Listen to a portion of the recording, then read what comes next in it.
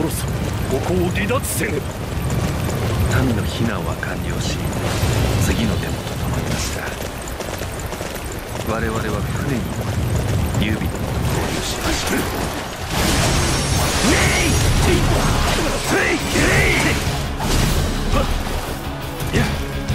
今だ諸葛亮殿の策を実行するぞ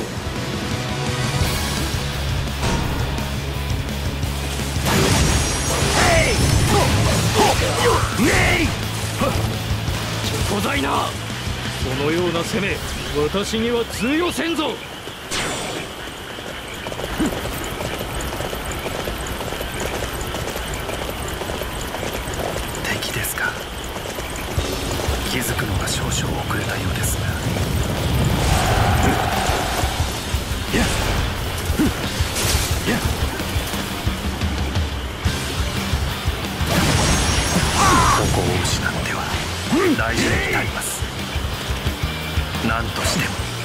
守りに行きましょう。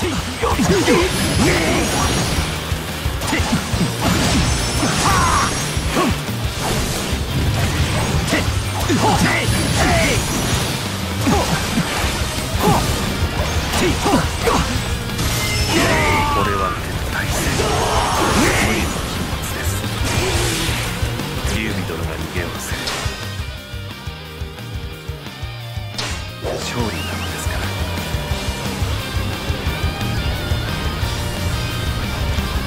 見事だな大竹。さすがは歯を行く者よ。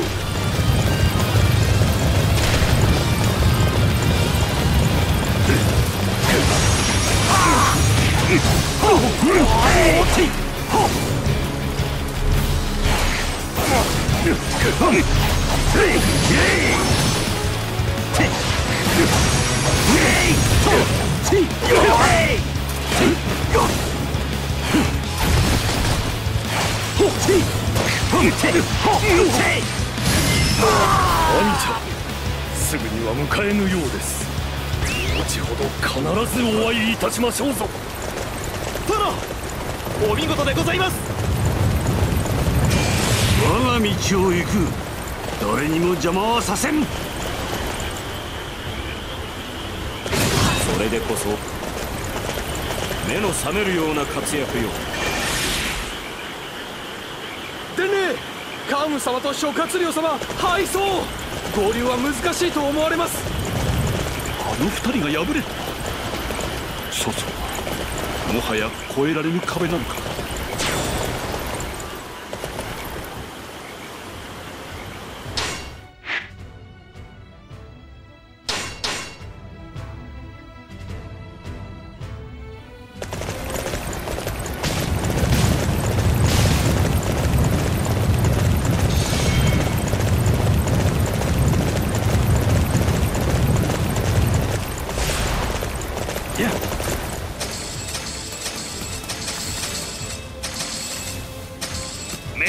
目障りなとこは潰しちまうか。お前らついてこい。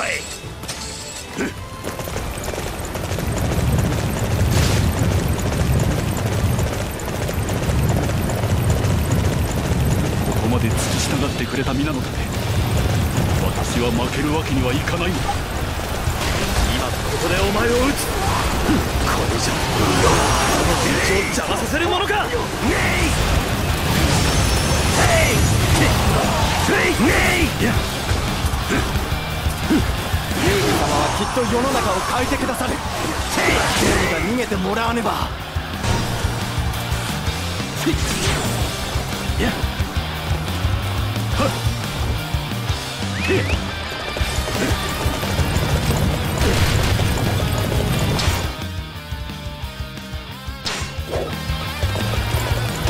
こまで来たか曹操軍め劉備殿はこの私が守ってみせる。目障りなとこは潰しちまうか。お前らついてこい。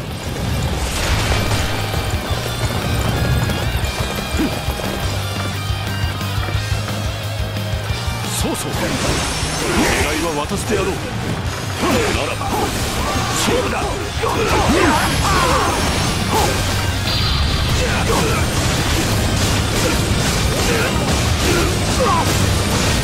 我が波動の前に滅びよう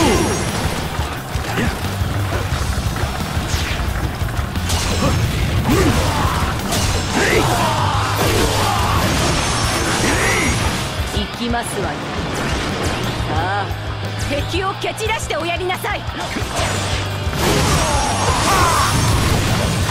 っ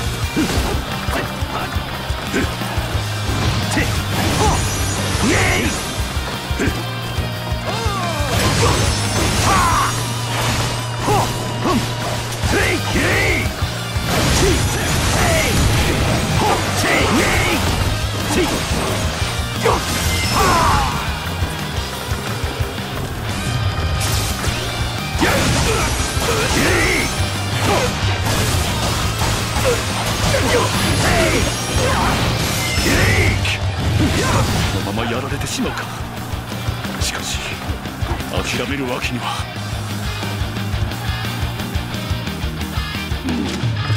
劉備を追い詰めたか。だがすでに長江は眼前。陣友どう思う？孫権が劉備のため兵を動かすかが鍵です。ここは孫悟の出方を見ましょう。狙いは定まった敵の足場を崩し戦意を損と。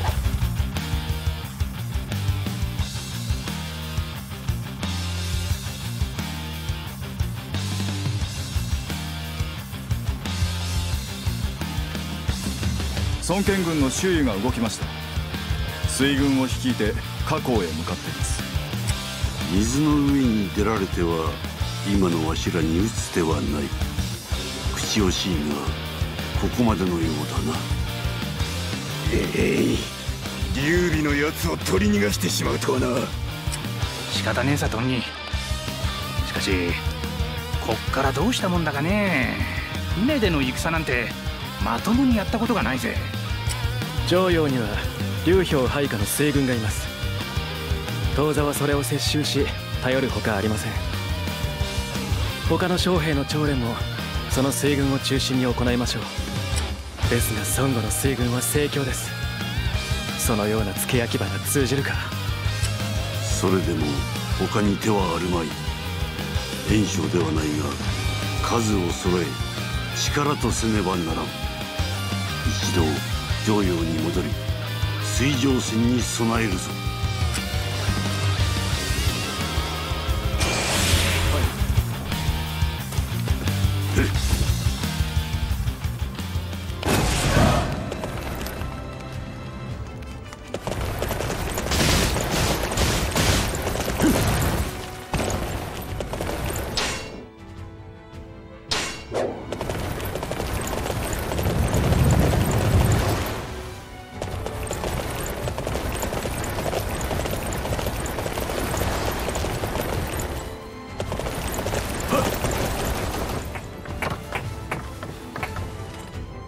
らっしゃい。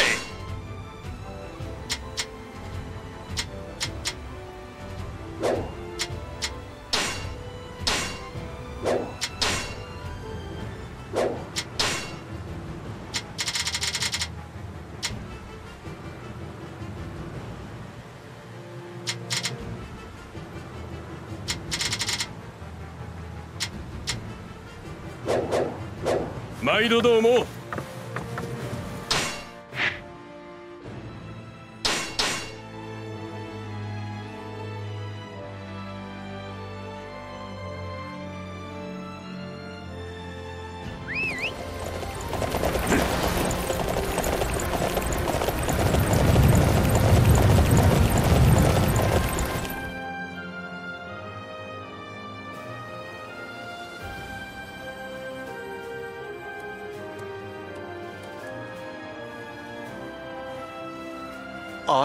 孫悟の水軍。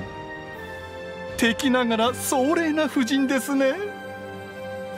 陸にも多くの部隊が配備されている。どこから攻めても硬そうだ。我々は水上戦の経験に乏しい。父よまずは河岸を制圧し勝手を知る陸での優位を確保すべきかと。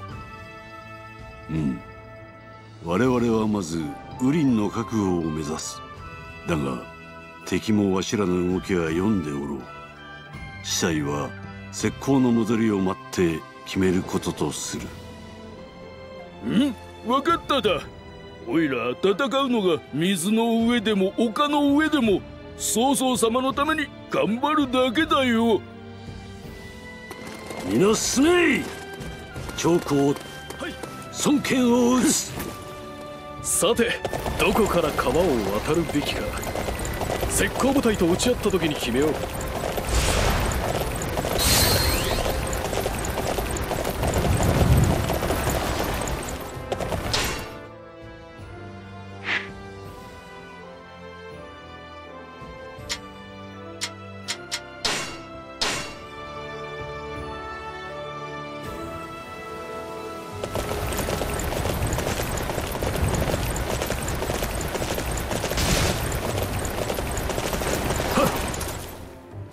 待ちしておりました。石膏の情報をもとに軍議が開かれます。こちらがその報告書です。目を通してくださるようお願いし準備はよろしいですか？では軍議の席にご案内します。皆さんそれじゃ早速軍議を始めよう。まずは水上の戦いだがこちらは苦戦を強いられている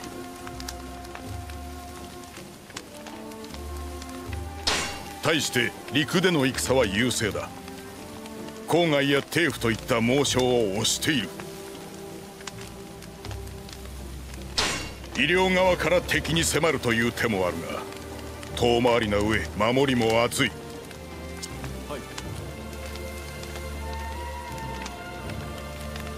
なら素直に南下して陸上で戦うべきだな。孫権に会うにはそれが一番手っ取り早い。角殿に同意します。敵の水上戦略を突破するのは困難かと。ですが味方水軍の敗北も避けたいですね。援軍を編成し戦線維持に努めましょう。よしこれで方針は決まったな。右舷早速進軍を始めようか。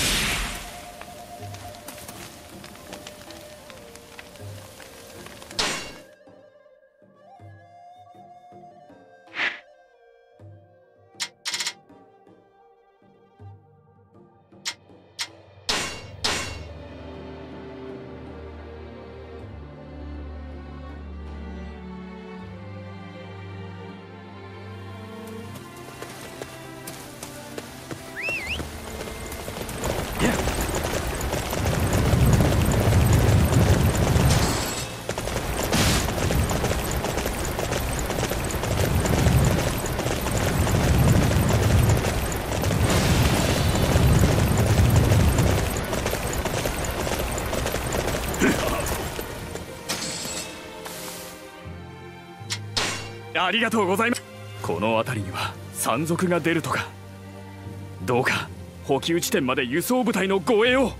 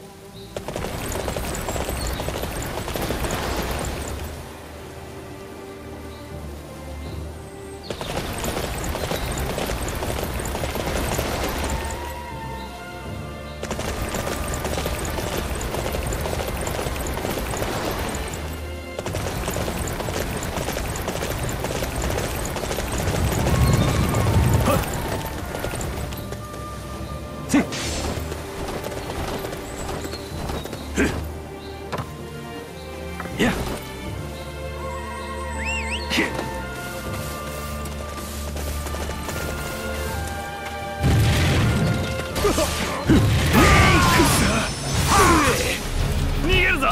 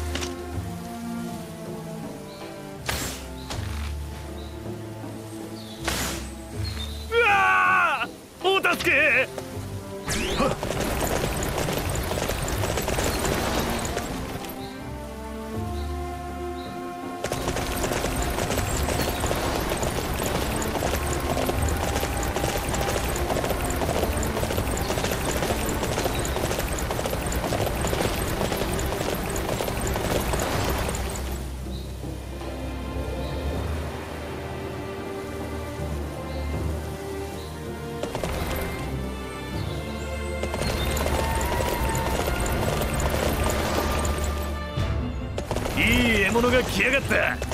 ここで張ってた甲斐があったぜ。おかげで兵糧を届けることができました。ありがとうございます。これでこの拠点も守りを固められるだろう。それじゃあ私は前線に向かうとしようか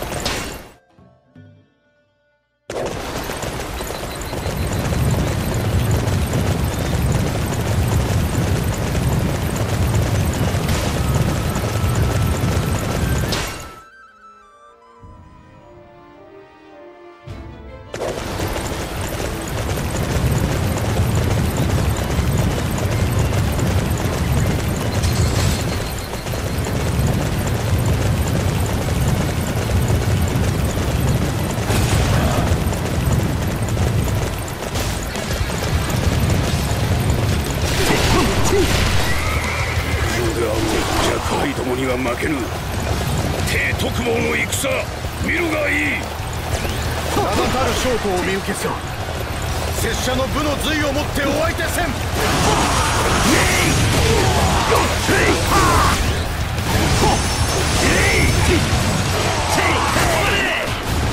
ここらで一戦ありそうだ。守りを固めておくぞ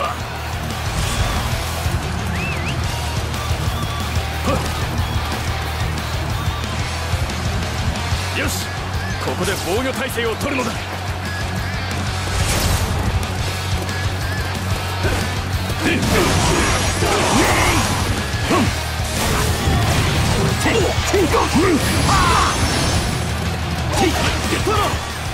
お見事でございます。曹操軍の勢い止められなんだ。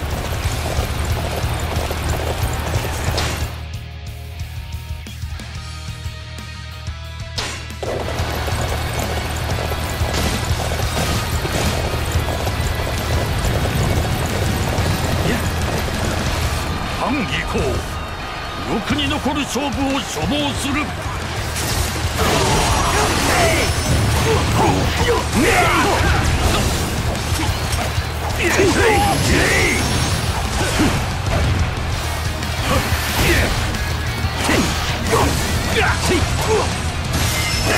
派手にやられたな。陸での戦は分が悪いか。素晴らしきお働き。止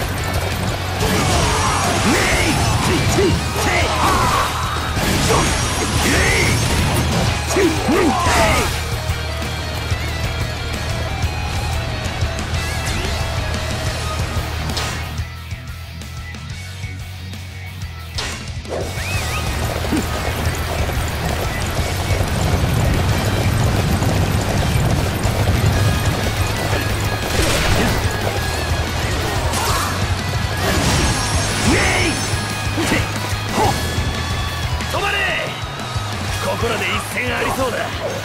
守りを固めておくぞ。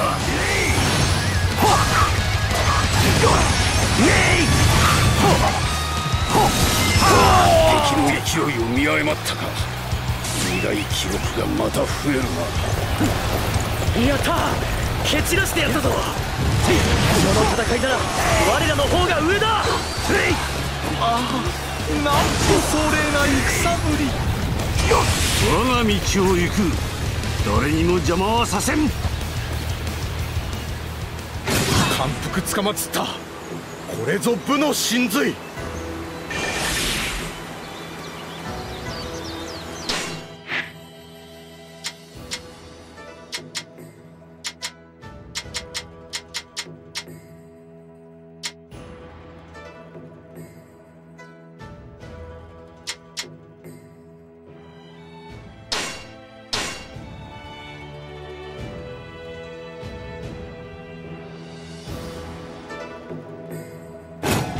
ここを攻めるとは無謀な真似を。それとも何か狙いがあるのか。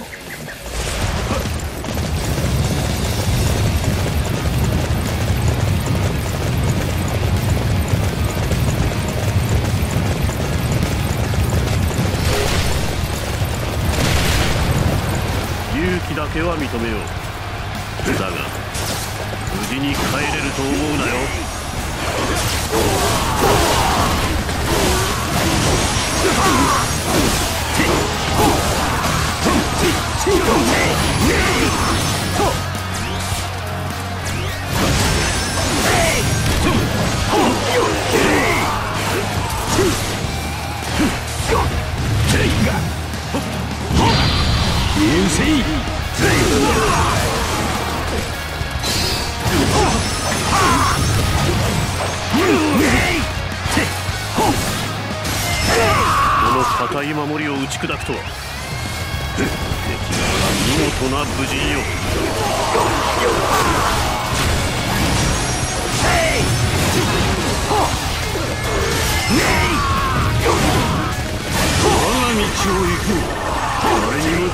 させんここはあの太子寺が守ってたんだ。きっと重要なものがあるはず。探せ。あったぞ。無人図だ。至急曹操様にお届けしなければ。申し上げます。太子寺の陣にてこれを発見しました。おう。これは周囲の部隊の婦人図ではないか周囲の軍勢はこれで丸裸になった。打ち崩すのもたやすかろうな。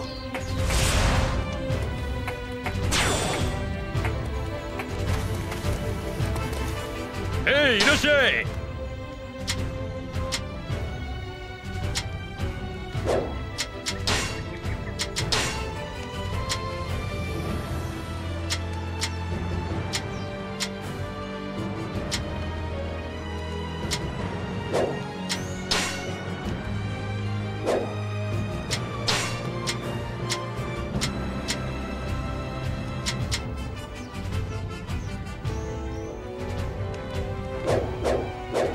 毎度どうも